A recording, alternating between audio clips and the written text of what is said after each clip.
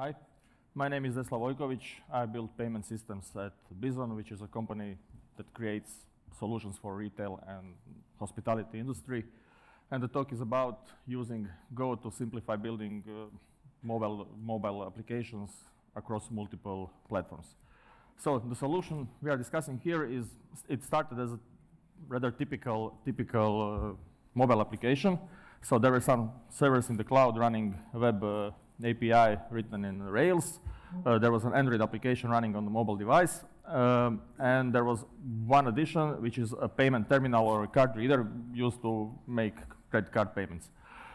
Uh, payment uh, terminals are specific in a way that uh, they're typically driven by proprietary protocols defined by the, by the vendors, and these protocols are usually stateful.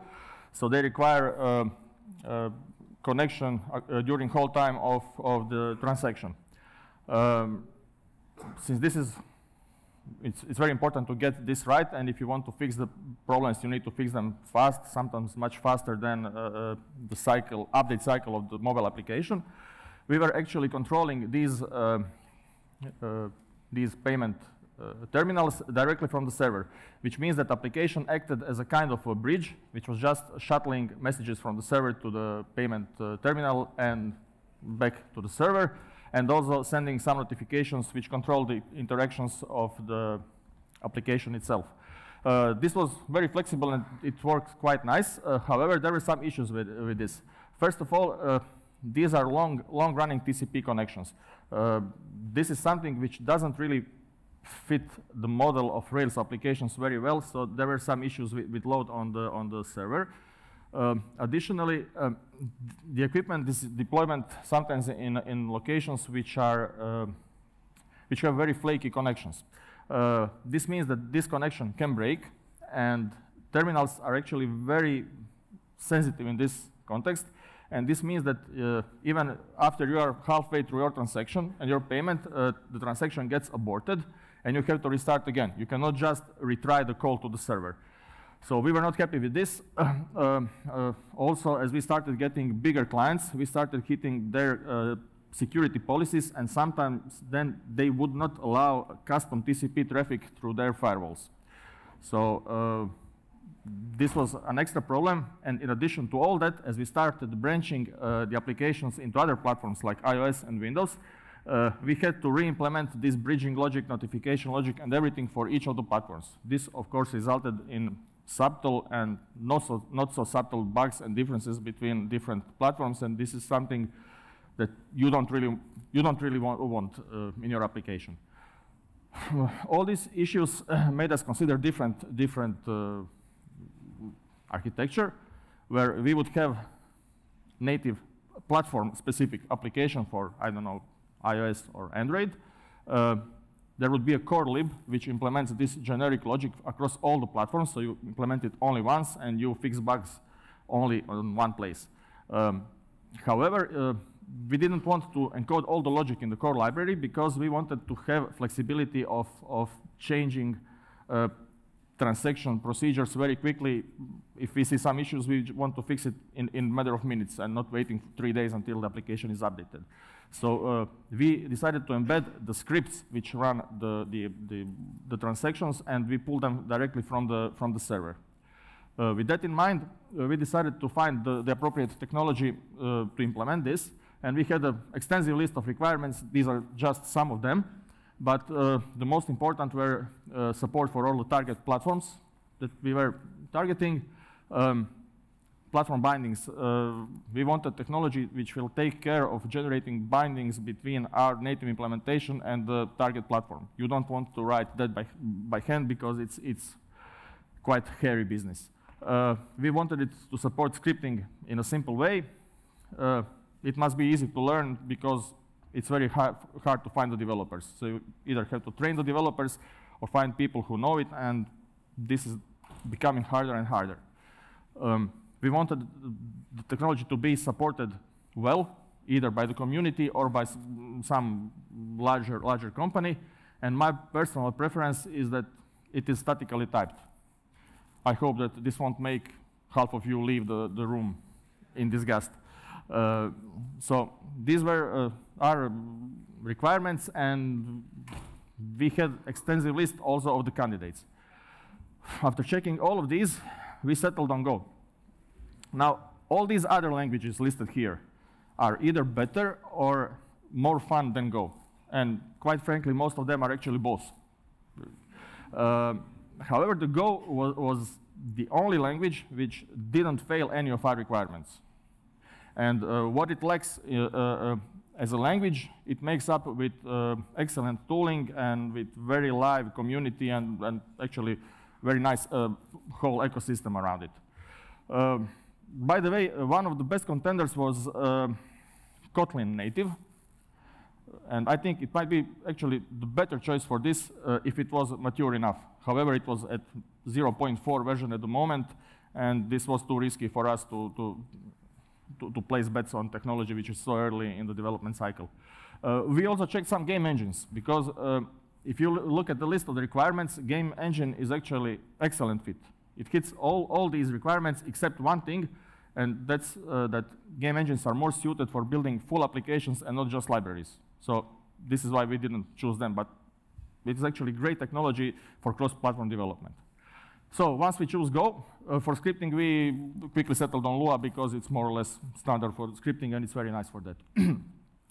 this was our new, new architecture. Uh, there was platform-specific UI and services built on platform technology like Objective-C or, or uh, Java for Android.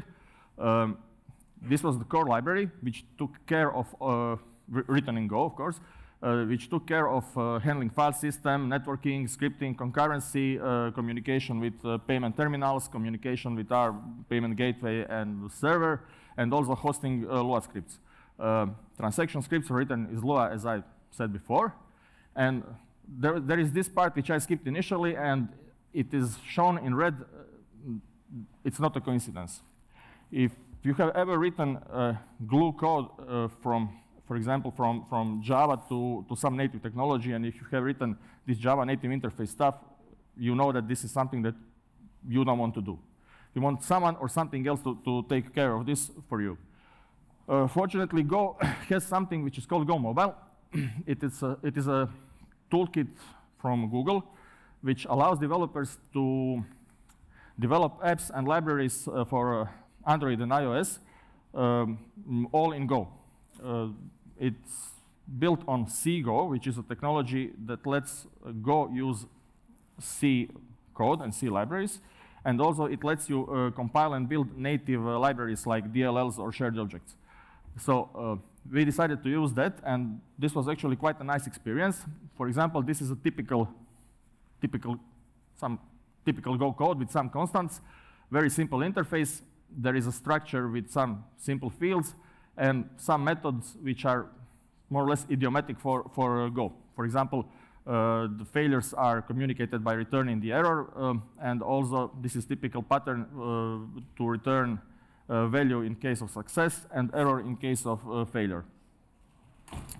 Uh, now, when you have such a library, you use Go Mobile to, to build uh, the, the target uh, archive.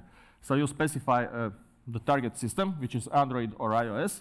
you specify the name of the output library, and you specify your Go package. And Go Mobile compiles everything into native libraries. It builds JNI stuff, whatever it needs, all this glue code, and it conveniently pack everything into your Android archive, which you can uh, then uh, put inside your application, Android or iOS, in this case, Android, of course, and you can use it as, as normal uh, Java library, for example. for example. So this is, this is what Go Mobile actually converts your Go code into. Um, as you can see here, this is this logger interface. It was converted in, to, to, to, Java syntax. Uh, integers are converted to long and stuff like that. Uh, there are some limitations. Uh, Go Mobile lets you use a subset of types. So it lets you use uh, signed floats and signed integers, signed integers, uh, booleans, strings. Uh, it lets you use byte slices. Uh, slices are similar to arrays, but they are actually view into an array, something like span in, in .NET, for example, or some other technologies. So it lets you use all of that.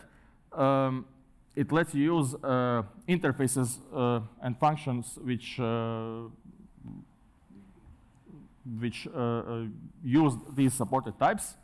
And it also lets you um, uh, use structures uh, and, and, methods on them which use these uh, supported types.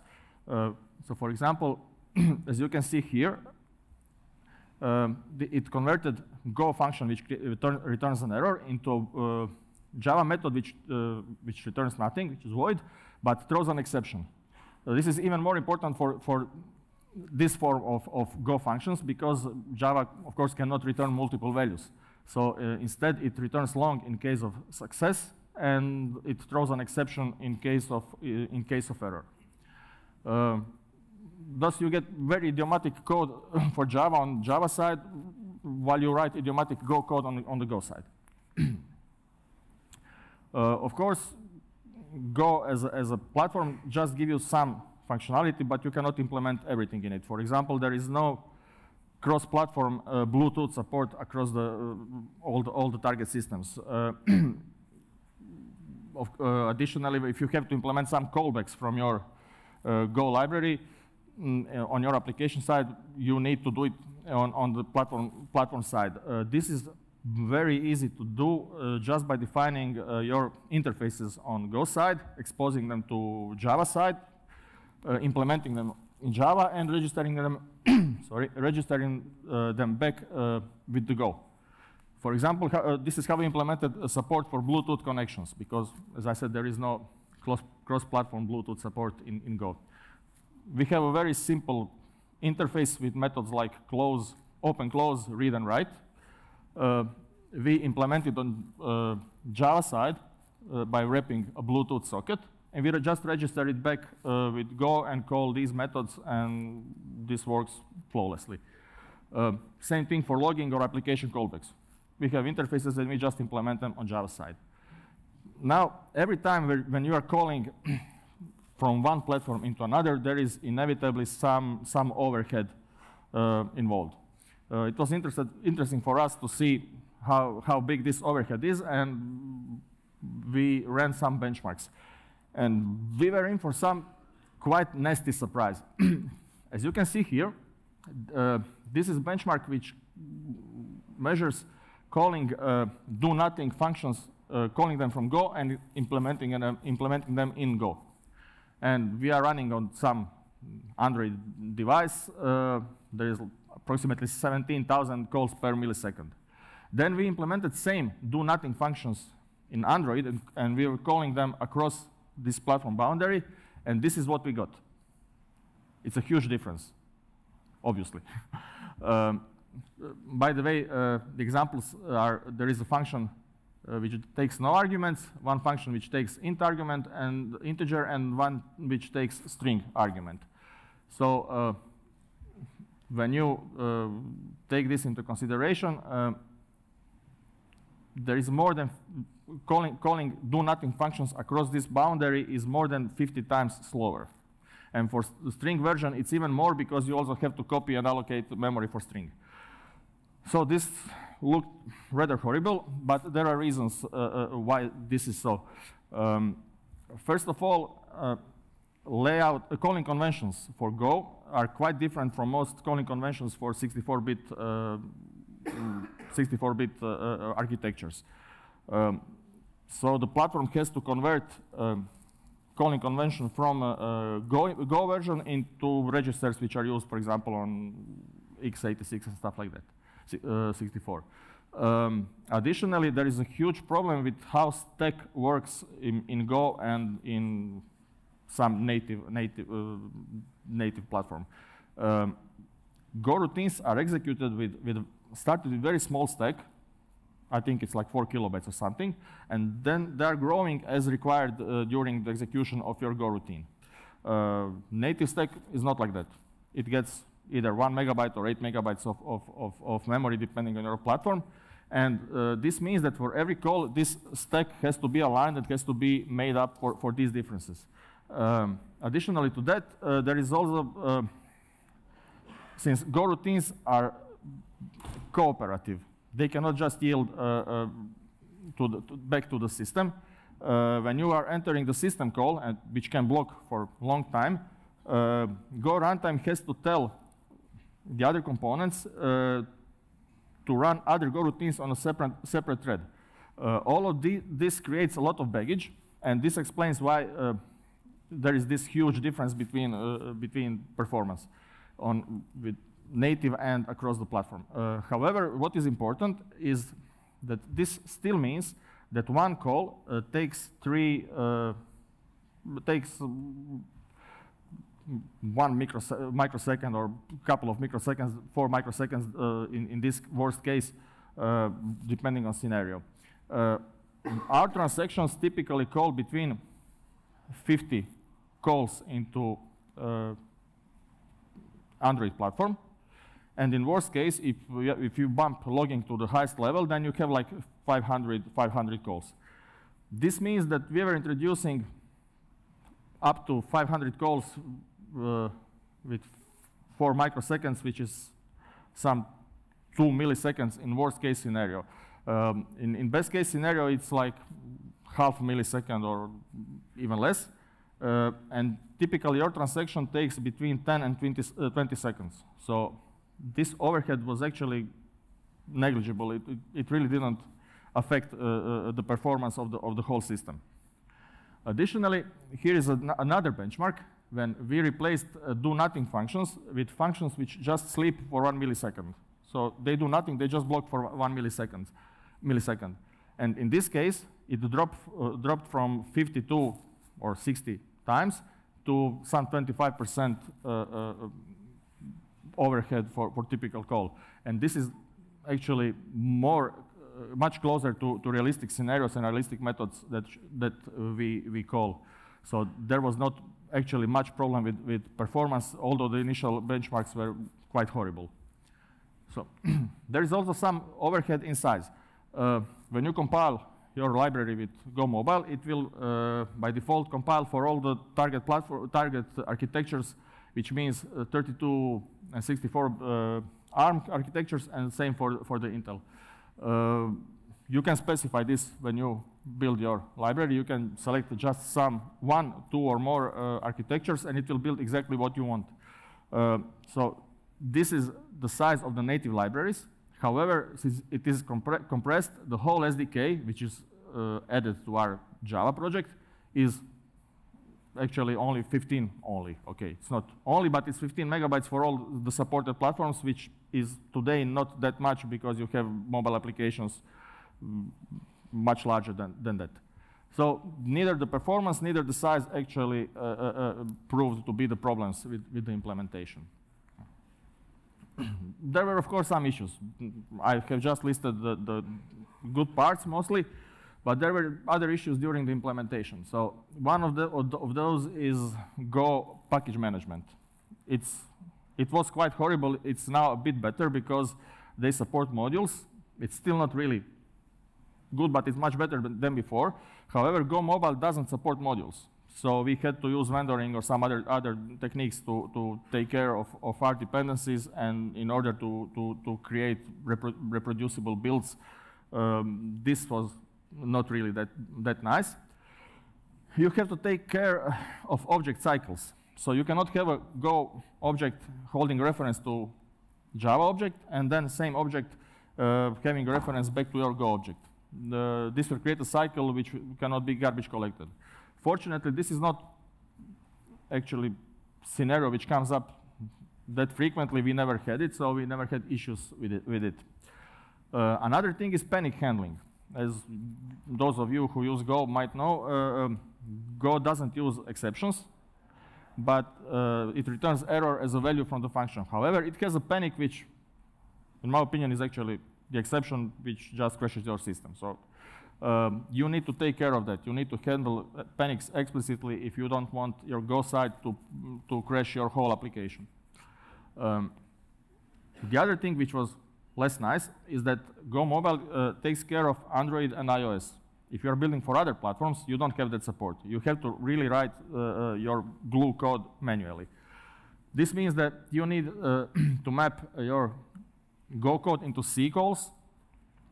And, and this is the place where you have to be very careful with your memory allocation uh, because uh, it's very easy to make a mistake uh, where you allocate some uh, string, you send it to the Go side, and you cache it into some variable. Uh, your C or, native code deletes this memory, it frees up the memory, and you are left with actually Go string, which is using the allocated memory, and this will crash your application.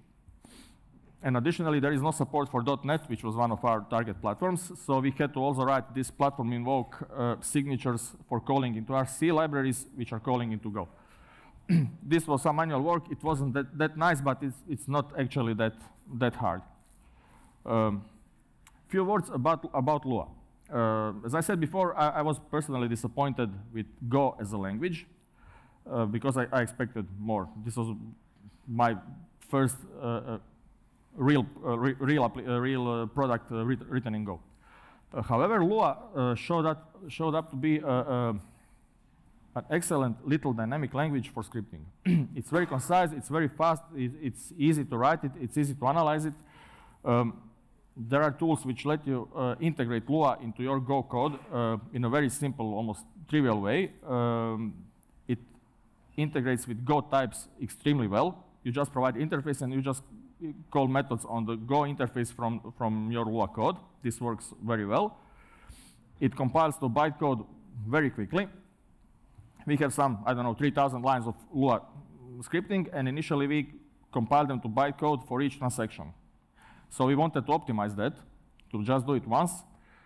However, it takes between 10 and 20 milliseconds to, to compile everything to bytecode. It makes no sense to optimize this because this happens in parallel with uh, making a connection to your terminal, uh, payment terminal, and this always takes longer. So by the time that you connect to your device, this is already compiled to your bytecode, and there is no reason to optimize. We probably will someday, but honestly, there's no reason for that. And another nice thing is, like with every scripting, there is always a risk that script might be changed to do something that you originally didn't want to do. Um, Lua interpreter can be run in safe mode, where you don't load uh, libraries for networking and stuff like that.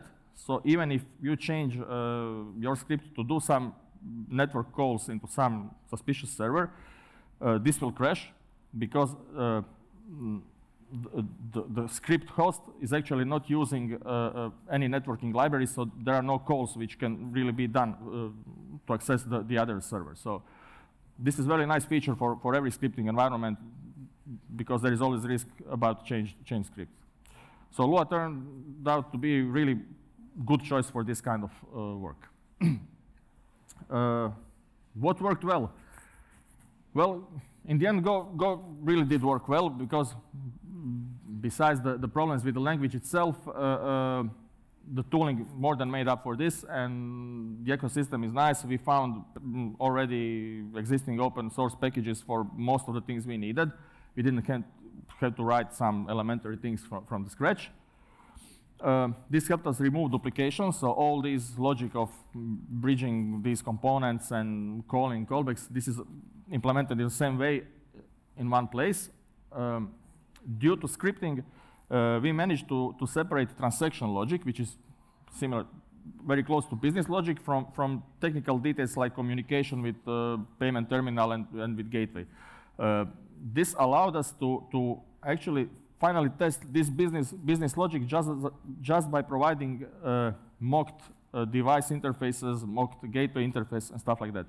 Uh, we didn't have that before because it was all locked together in one implementation.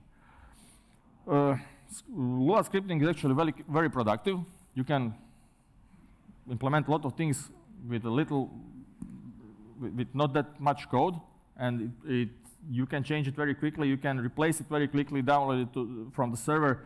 Uh, this turned out also to be a nice thing. And since we are now building Go directly instead of having all this Rails, uh, uh, Ruby stuff, it was much easier to debug issues with the payment. You just start it as a normal process and you compile it and that's it. You can run to the debugger and see what happens. So these were the good, uh, good things. Uh, there are some things you have to watch out, as shown with these performance uh, uh, benchmarks. you have to avoid chat interfaces. You don't want to call, call 1 million functions over this platform boundary because it will be slower.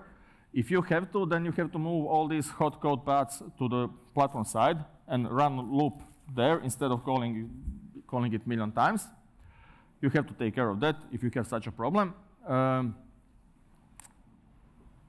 additionally, when you're writing such a library, you have to provide some API for the applications which are integrating with it. And here you really need to have feedback uh, from your developers. Uh, it's, it's very easy to end up with API, which you then deliver to them, and then they tell you, well, this is not actually how we need it or how it works. It has to be different. So it has to be, uh, there has to be some feedback from platform developers back to your, to your library. And it helps if you can plan releases of the core library as a product. So you ship one version with defined uh, API, and then the platform uh, integrates it uh, according to this specification while you continue to develop the new version. Uh, doing it in parallel typically creates conflict with APIs and stuff like that. So these are actually the things that we couldn't uh, predict in advance, but turned out to be something you have to watch out for. And actually, I think time's up, right? So this is it. Uh, before questions, just uh, one thing. If you are interested in topics like that, uh, we are hiring, so you, you can come discuss with me if you want something like about these topics, we can talk. Uh, thank you very much. Thank you, Zdeslav. Feel free to ask. We do have time for one quick question before lunch. Here we go. Hi. Uh, so I was with you right until the point that you said you were disappointed with the language. Yeah. Man, them's fighting words. no, but seriously, uh, did you have a problem with the uh, releasing on the iOS? Because uh, as far as I know, Go Mobile has a problem with compiling to bitcode which which is a requirement for some platforms on the iOS? Uh, uh, actually, uh, iOS is the only platform which we still haven't uh, applied this. We switched uh, Windows side and we switched the Android. For iOS, we didn't have time to, to try it. We just built the native libraries, and honestly, I cannot tell whether it works for iOS. This is why there is not much information uh, information about iOS. Okay. Yeah. Um, Thank you, everyone. Have a have a good meal, and we'll see you after lunch. Thanks. Thank you, Zdeslav.